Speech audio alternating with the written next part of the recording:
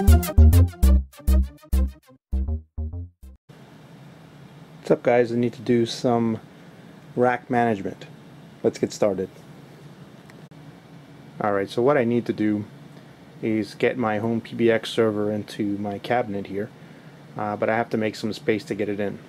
And one of the things that right now is taking up a lot of space is that 17 inch Samsung monitor.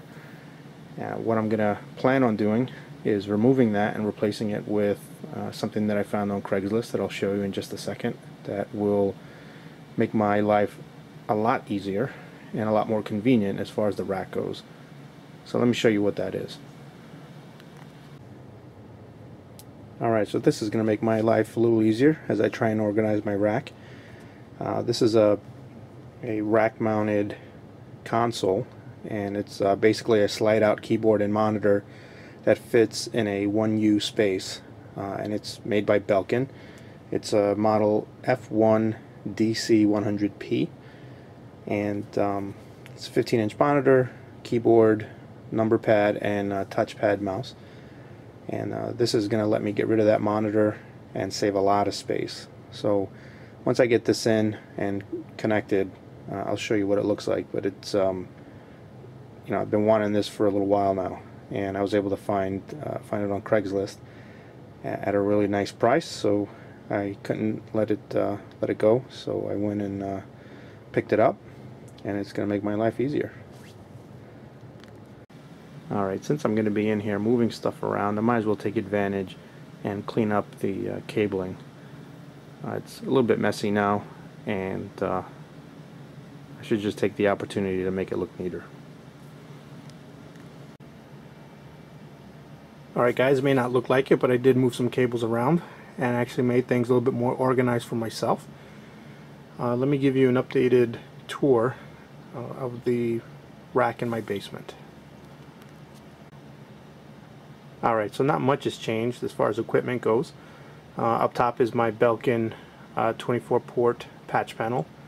Beneath that is my Cisco Catalyst 2950 uh, switch it's a 10100 switch. Underneath that is a Middle Atlantic Power PD915R. It's just a uh, power strip that's rack mounted. Alright, so here uh, there's a Netgear switch up in the top left there. Uh, the two lines in my office as well as my home server and those are plugged into there as well as a line that goes up to the Catalyst switch, the Cisco switch. Uh, top right is the cable modem that comes from my cable provider. Underneath is uh, an HP Compaq small form factor uh, Pentium 4 computer. And that acts as my firewall. That's running Clear OS which um, I've been very very happy with. Uh, that also does my DNS and uh, it's a pretty nice piece of free software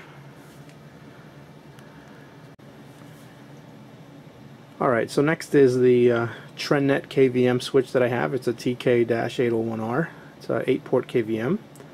Underneath that is the Belkin console that I just showed you.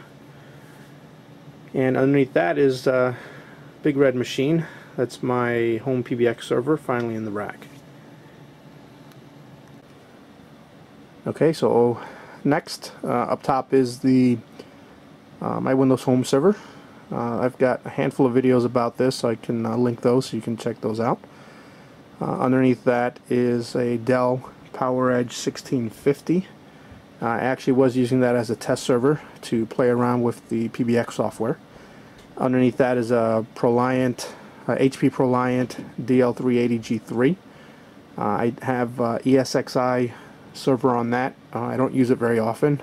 Um, and last but not least is my APC Smart UPS 700.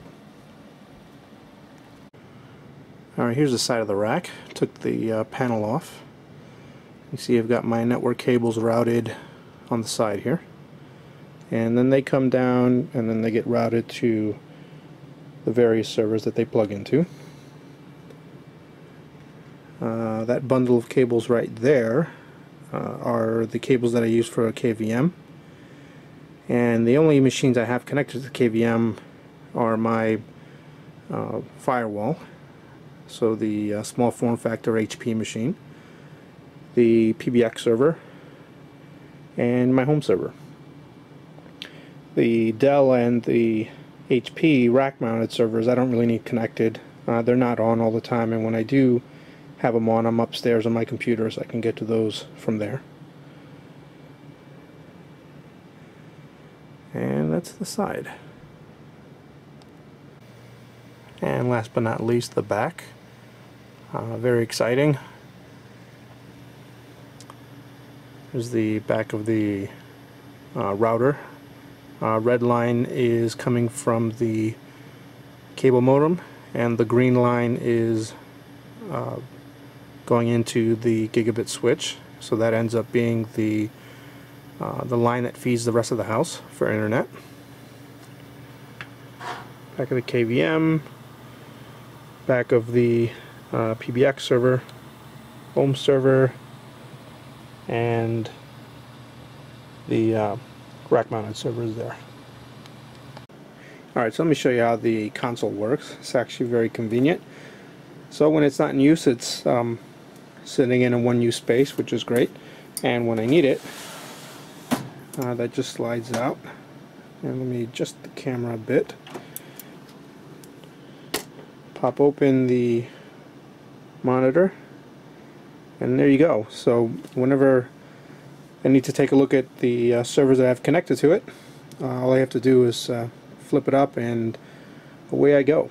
Uh, this is way more convenient than having the um, monitor sitting in the rack and uh, saves a hell of a lot more space too. So I think this was a good uh, good purchase. I've been wanting one of these for a long time.